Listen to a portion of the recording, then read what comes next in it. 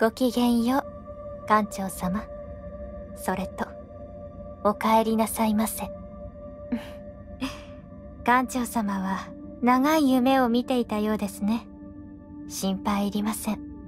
ゼーレさんは無事です。ただ、まだ夢の中にいて、目覚めようとしません。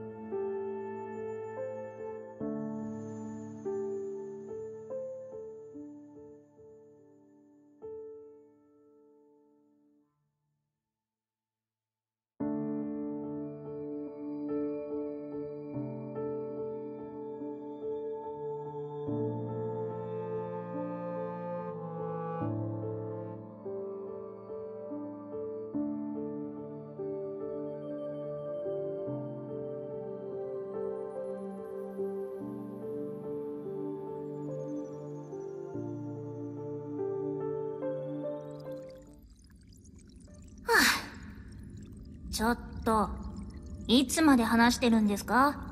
早く行かないとまた捕まりますよ。ん？